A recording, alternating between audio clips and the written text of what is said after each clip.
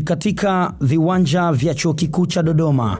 Ukipenda unaweza kupaita UDOM. Wasomi kutoka vyuo vikuu kumi na vitatu nchini walikutana kwenye mashindano ya vyuo vikuu yaliyoandaliwa na Shirikisho la Michezo ya Vyuo Vikuu Tanzania maarufu TUSA. Mbali na washiriki kutoana jasho katika kuania medali na zawadi mbalimbali mbali, bado hilo halikuweza kuondoa tabasamu kwenye nyuso zao. Ilikuwa ni burudani ya aina yake. Ngoma zilipigwa,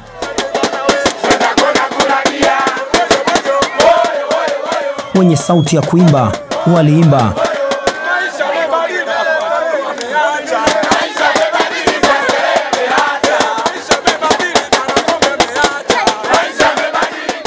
wanaojua kucheza wakacheza.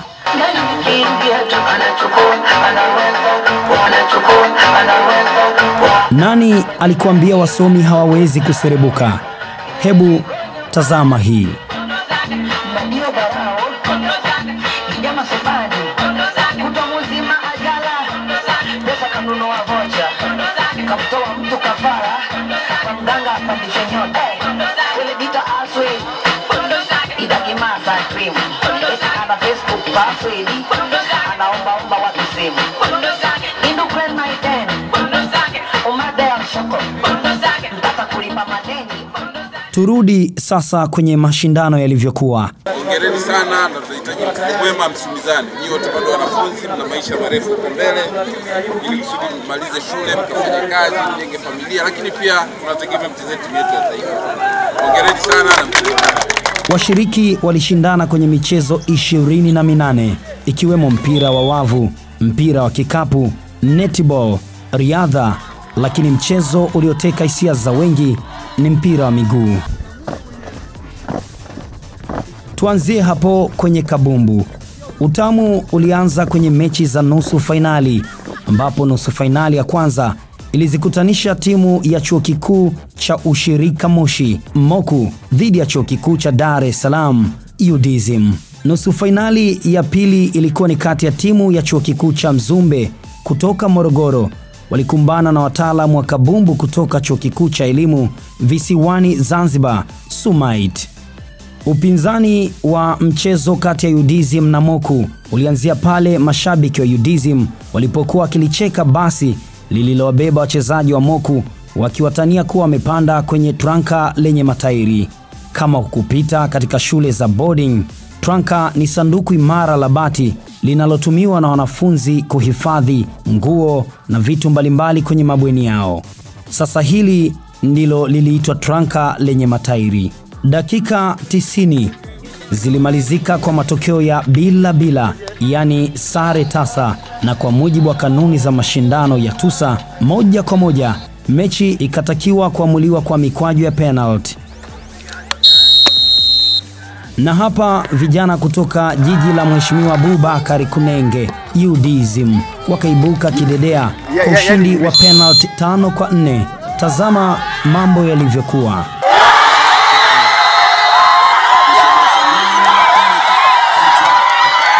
Baada ya mchezo huu, kocha wa moko aliwapa tahadhari UDSM kuelekea mchezo wa fainali. Wapinzani wangu kwa ushauri tu, inabidi wajipange kama utakutana na Mzumbe, kwa sababu Mzumbe wajanja, wana tekniki.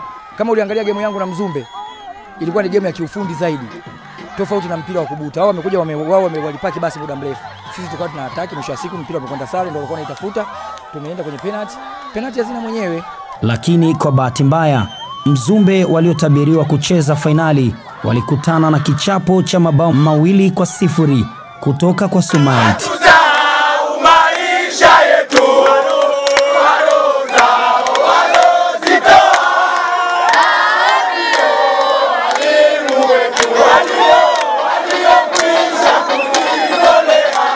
Hivyo fainali ikawakutanisha UDSM na Sumait, ikiwa ni mchezo wa pili kwa wao kukutana kwenye mashindano haya baada ya awali kuumana walipokuwa pamoja kwenye kundi A.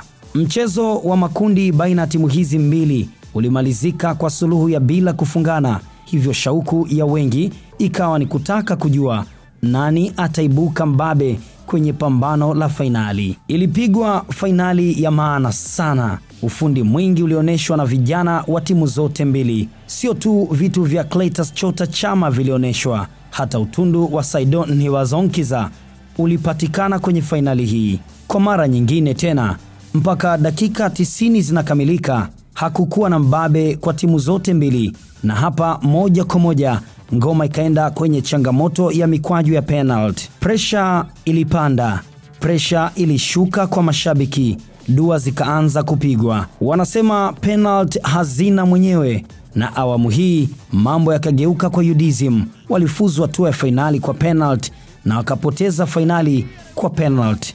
Ubingwa ukaenda kwa Sumait. Haya, Rajabu Ali anapaisha, nakosa penalty ya pili. Saidi Mbaruku, Sa Saidi Mbaruku ameiweka. Wow, what a penalty! Ahmad haya hiyo hapo imekaa, penalty nzuri, penalty Munawari. Ya pili, na sasa ako kwenye penalty. Mohamed Hassan anapaisha, kosa penalty na anakuwa amemaliza mchezo, amezika. Rasmi sasa. Sumait kutoka Zanzibar. Wanakuwa mabingwa wa TUSA 2020 wakichukua taji hili Hii ikiwa ni mara ya nne mfululizo kwa ubingwa wa mchezo wa mpira wa miguu kwa wanaume ukienda kwa vyuo vikuu vya visiwani Zanzibar. Inaaminika mchezo wa mpira wa miguu ni mchezo wenye hisia kali sana. Hili lilithibitika baada ya vilio kutawala kwa timu zote mbili. Sumait walilia, UDSM walilia. Tukataka kufahamu kwa nini kijana huyu wa UDSM alimwaga chozi baada ya mchezo kumalizika. Uh, kwanza kabisa namshukuru Mwenyezi Mungu tumeweza kumaliza haya mashindano salama, lakini sababu kubwa iliyofanya nilie baada ya kumaliza mechi hii ni kwamba toka tumeanza hatua za makundi tumejituma sana na tumeweza kufanikiwa kuingia fainali. Mashindano hayakuwa rahisi, lakini pia tume, tumeingia fainali, na kama umeangalia mchezo wenyewe wa fainali tumedominate kwa kiwango kikubwa, tumecheza mpira, tumepata nafasi hatujazitumia. Kwa hiyo tumeenda kwenye penati, penati hazina mwenyewe, tumeweza kupoteza mchezo huu.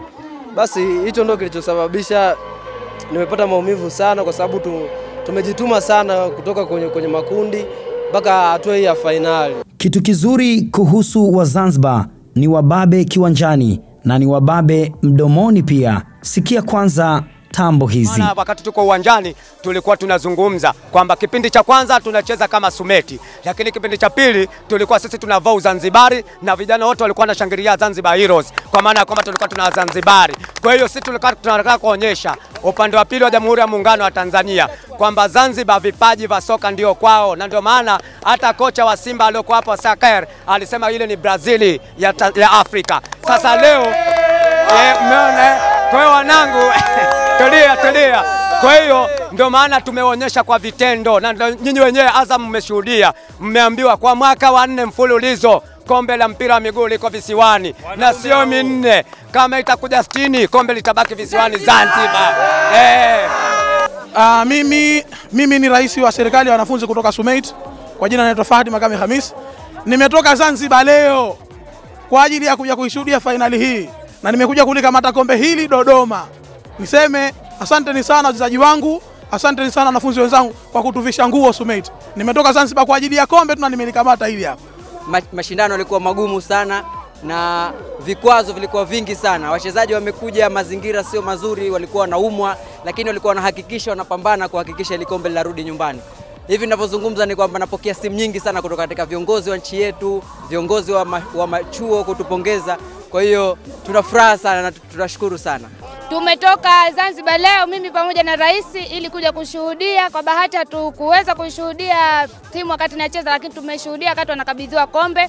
Niwapongeze wanafunzi wenzangu kwa kujitahidi ili kombe kurudi Zanzibar, kwa sababu hii ni mara ya nne ZU amechukua na me, mara hii hawakushiriki, lakini tumewaahidi kwamba Sumeti tutalirudisha tena Zanzibar, na ahadi yetu tumetimiza, tumelirudisha Zanzibar. Wahongera wanafunzi wa Sumeti na pia tu tuishukuru serikali ya Zanzibar kwa kutuunga mkono kwa njia moja ama nyingine. Asante sana. Kwanza niseme Zanzibar, Mwenyezi Mungu mwenyewe kawabariki kipaji cha mipira, hilo halina upinzani, na ni jitihada pia za um, wanocheza uongozi wao, motivation, kwa sababu ilikuwa inafika stage wanakata tamaa, lakini tunawaambia sisi tumetoka mbali kwa jambo hili.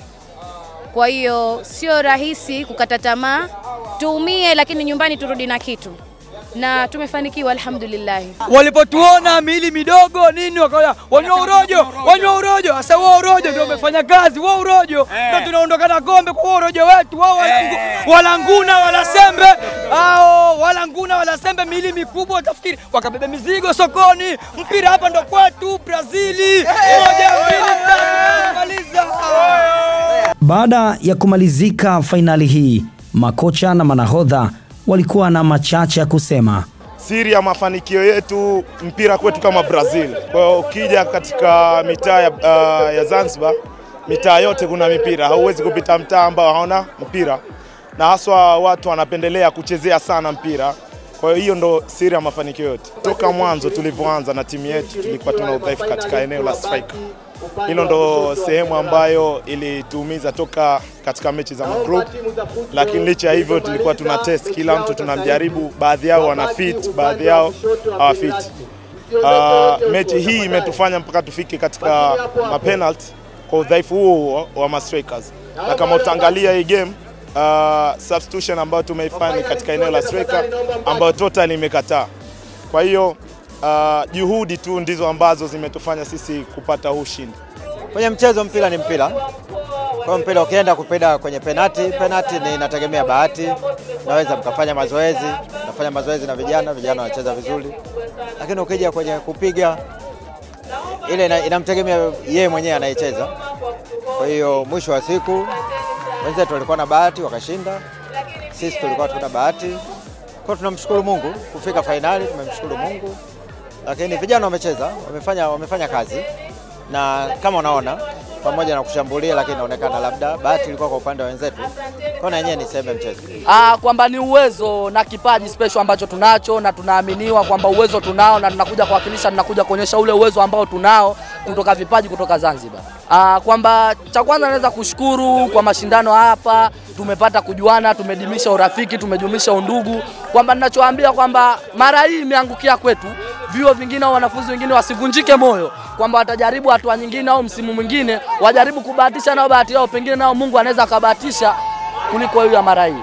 Ya, mchezo ulikuwa mgumu kiasi chake, lakini tulianza vizuri kwa kutumia mbinu za mwalimu tuweze kupata matokeo mapema kabla dakika 90 kwa sababu tunajua penati huwa hazina mwenyewe. Kwa hiyo kudra za Mwenyezi Mungu sikio zinapolalia kwa upande mmoja wa timu, basi wanapata matokeo kwenye upande wa penati, lakini tulijitahidi kupush push ili tuweze kupata matokeo. Nafikiri bahati haikuwa yetu pia. Changamoto ni ile ile, mashindano ma- mashindano ya TUSA sio mashindano madogo, ni mashindano ambayo ni makubwa. Kwa hiyo timu zote zinazokuja zinakuja na ushindani wa hali ya juu. Kwa hiyo changamoto ya mwaka jana unaweza ukazani mwaka unaokuja hamna changamoto, lakini ukakuta changamoto zaidi ya ile ya mwaka jana. Kwa hiyo ni timu hizi kuzishauri kujipanga, kila zinapokuja kwenye mashindano ya TUSA zije kuwa vizuri, ili haya mashindano yaje yawe mazuri pia kwenye upande wa, wa, wa, wa soka na michezo mingine pia.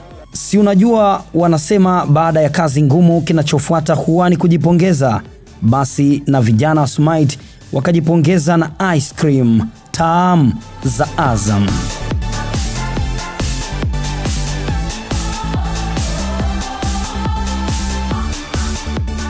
Mbali na mchezo wa soka, kivumbi kingine kilikuja kwenye mchezo wa kikapu kwa upande wa wanaume, ambapo ilipigwa mechi kali ya fainali kati ya Moku na Udizim. Upinzani ulikuwa mkali sana. Hapa kwenye kikapu, Moku walifanikiwa kulipa kisasi cha ndugu zao kwenye soka kwa kuwachakaza UDSM kwa alama 46 kwa 43.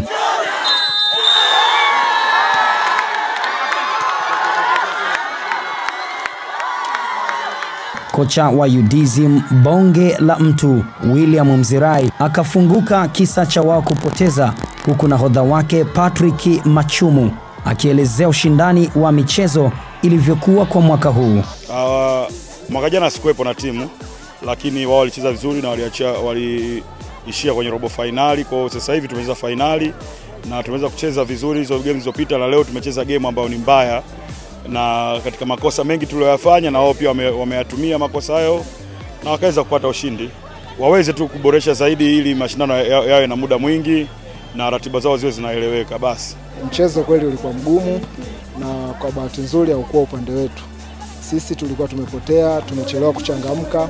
Wenzetu waliwahi kuchangamka kuanzia kota ya kwanza mpaka wa mwisho, wamecheza kwa nguvu, wamecheza vizuri. Sisi tumekuja kuamka kota ya tatu. Kota ya tatu tumejaribu ku catch up, lakini tukifunga na wenzetu wanasogea mbele.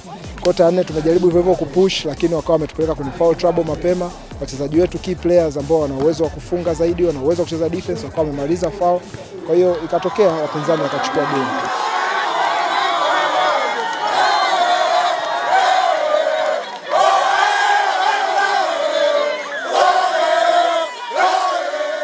Kwa upande wa washindi Moku, na wao walikuwa na machache ya kusema. Katika mashindano kama haya, siku zote usimwandeestimate mshindani.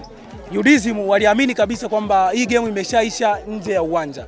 Hata kocha wao aliweza kuniambia kabisa na kufunga mia, nikamwambia twende tukacheze mechi, au sio? Nimemfunga kwa sasa, ninachosubiri kwenda kumwambia zile mia zimekupindukia, na huu mchezo hautaki asila.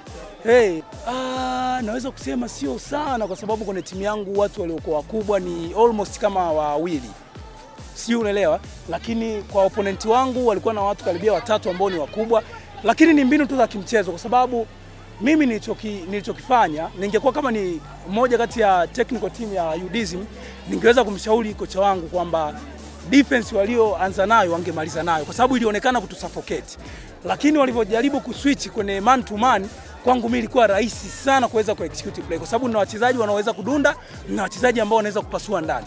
Mpango mkakati niliokuja nao ni kuwapaka paulo mapema wale potential player wao, na plan imeweka out, tumewatoa, tumecheza game, tumerelax, vijana wameshinda. Uh, siri ya mafanikio yetu tulikuwa na spirit nzuri kutoka kwa wachezaji, tulikuwa tuna kochi mzuri ambaye ametusaidia kutupa plays na pia wachezaji tumeonyesha ukakamavu katika kuanzia mwanzo wa game mpaka mwisho.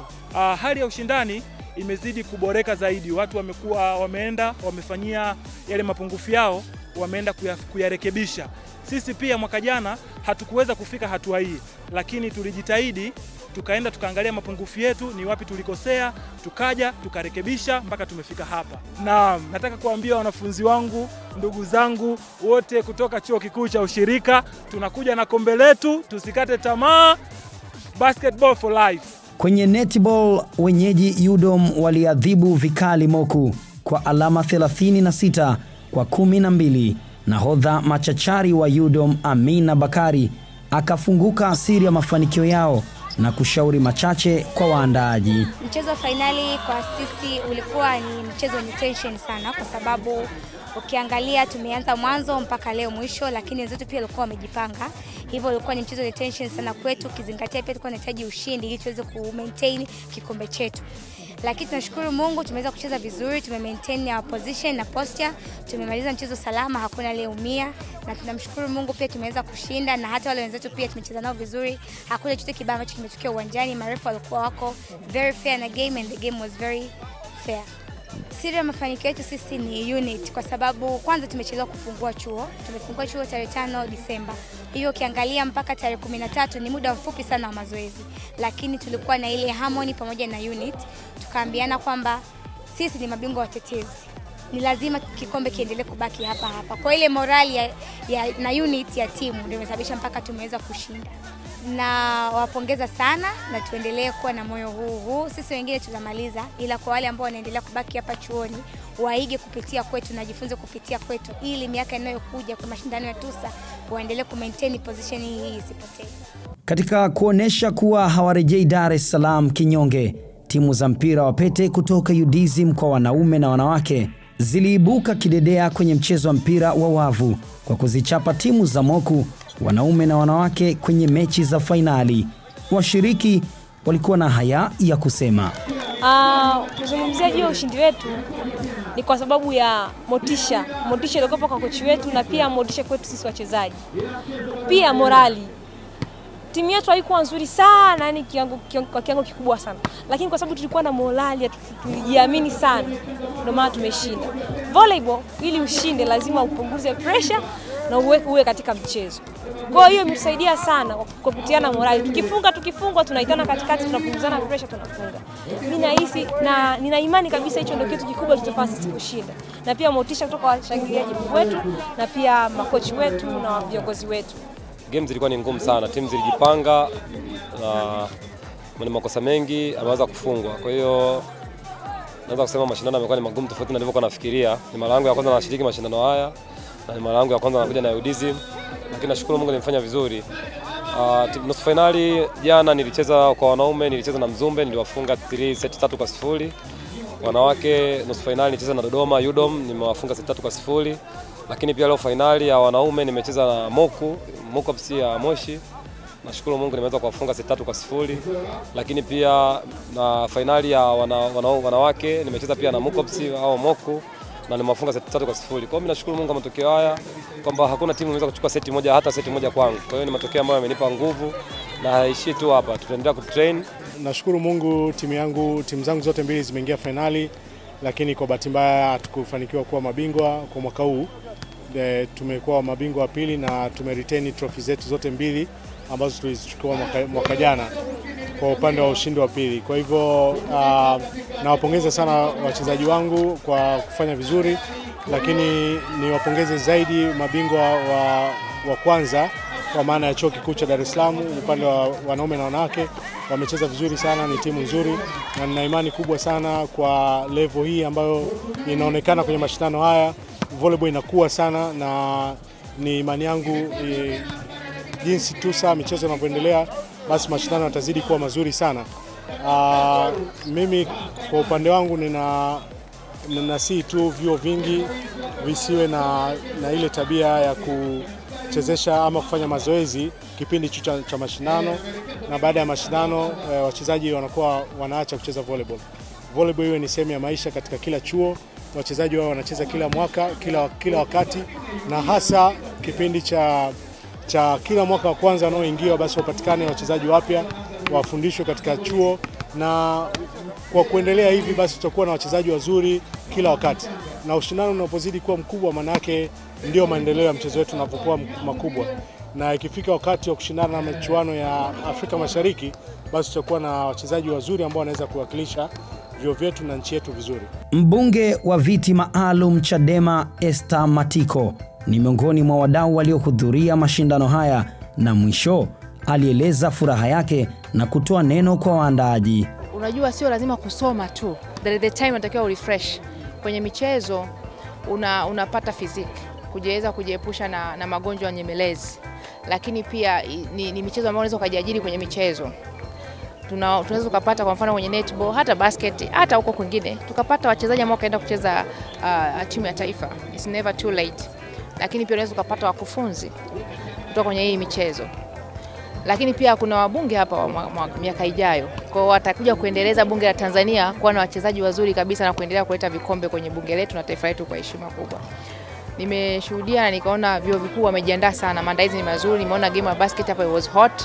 The different of one basket 46 kwa 43 kwa wa, wanafunzi wa chuo kikuu cha Moshi na hawa wa UD, UDSM Mox wamechukua wa, the, the head skills na lakini hata UD wako vizuri, lakini pia netball nimeshuhudia Mox na UDOM UDOM wamechukua, lakini hata Mox bado wako vizuri. Lakini pia niwaombe na uh, management za vyuo hivi waweze kutia mkazo sana kuona kwamba kuna umuhimu mara inapotokea kuna haya mashindano wasione kama ni upotezaji wa, wa, wa muda na nini, waweze kuhakikisha kwamba wanawafacilitate hawa vijana, wanapata coaches ambao ni wazuri, wanawatrain, wanapata muda wa ziada, ili wanavyokuja hapa kushindana kweli inakuwa ni competition ambayo kweli ina, inaonyesha kama kweli hawa watu wako vizuri, hata wakija kukutana sana na, na, na university zingine za Afrika Mashariki, Tanzania tuibuke vinara. Nawapongeza sana, ni mashindano mazuri sana, na watia shime waendelee mbele na zaidi na zaidi.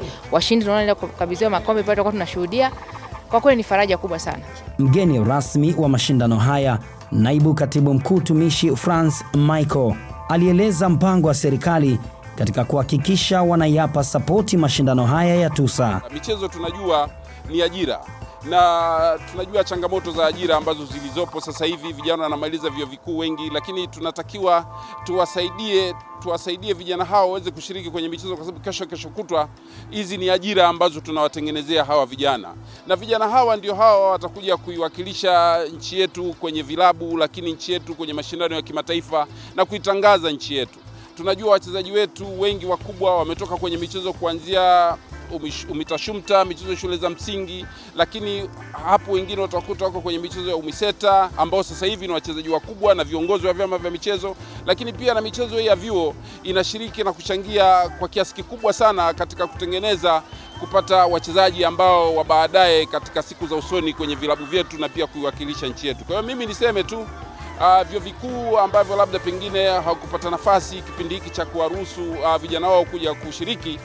miaka ijayo, kuanzia mwaka kesho, wajitahidi vijana hao washiriki eh, kwa sababu tunajua michezo michezo ni, ni, ni, ni, ni swala la msingi na serikali ina, ina, ina, ina, inasimamia na, ku, na, ku, na kusisitiza swala la michezo. Waandaaji pia hawakubaki nyuma, walitoa neno la shukrani kwa wanafunzi na Azam TV kwa ushiriki wake. Sisi kama TUSA ni wadau wakubwa sana wa kuendeleza vipaji vya vijana wetu na, na tunaendelea kuwatangazia umma kwamba upande huu wa vyuo vikuu ni fursa ambayo imejificha. Kwa hiyo sisi kama TUSA lengo letu kubwa ni kuweza kufichua na kuionyesha jamii kwa upande wa vyuo vikuu kuna vipaji vya, vya namna gani, na ndio maana tuna, tuna, tumeandaa haya mashindano. Na ndugu viongozi na wageni waalikwa kweli wamejionea hilo, lakini lengo lingine haswa la TUSA ni kuweza kukutanisha vijana wote kwa pamoja waweze kusocialize, kubadilishana mawazo, mitazamo na mambo yote ya kimsingi kama vijana wa chuo kikuu. Lakini vile vile pamoja na hayo, haya mashindano yanaboresha afya zao, na ndio maana tunaamini kwenye ile slogan kwamba health mind in healthy body. Tunaamini kwamba wakiwa na afya njema wanaweza wakasoma na baadaye wakaandaliwa kuwa vijana wazuri. Tunawashukuru sana sana sana Azam TV, wamejitoa, wameweza kutufanyia sponsorship hii ya kurusha matangazo live kuanzia nusu fainali mpaka fainali. Jambo ni kubwa mno. Kwa hiyo tunapenda kushukuru uongozi mzima wa Azam TV, watu waliokuja hapa, lakini uongozi uliobaki kule ofisini, tunawashukuru sana. Ngorongoro na wadhamini wengine ambao mwaka jana walitudhamini, mwaka huu wamekwama, tunawaalika next time waweze kutusaidia. Lakini ninaomba nitoe shukrani zangu za dhati kwa serikali ya Tanzania. Serikali imeturuhusu kufanya michezo hii ambayo mwaka huu ilikuwa ifanyikie Uganda, lakini hatujaenda Uganda kwa sababu ya korona. Lakini serikali ya Tanzania imewapa uhuru vijana wetu kukusanyika na kufanya hivyo. Tunaishukuru mno serikali na tumepata ushirikiano mkubwa sana kutoka Wizara ya Michezo ya Habari na Michezo, kutoka wizara yote, wizara za elimu, tumepata ushirikiano mkubwa sana sana sana. Serikali tunawashukuru sana. Chuo Kikuu cha Dodoma kwa mara ya nne wana host mashindano haya. Tunapenda kutoa shukrani za dhati kwa sababu tumekuwa tukipata kijiji cha michezo kinachokaa na wanafunzi wote sehemu moja, wakila chakula kimoja na kushiriki katika viwanja vilivyopo na kulala sehemu moja. Baada ya kutoa hizo shukrani, sasa niseme changamoto chache zilizopo, ninaomba ushirikiano, vyuo vyetu vijitoe, vitoe wanafunzi wafike ku socialize na kuweza ku network, lakini zaidi ya yote waweze kuonyesha vipaji vyao walivyo navyo. Tunajua bajeti zina u, u, u, ni, ni ndogo, lakini pamoja na udogo wa bajeti wajitahidi kuleta wanafunzi kwa ajili ya michezo hiyo.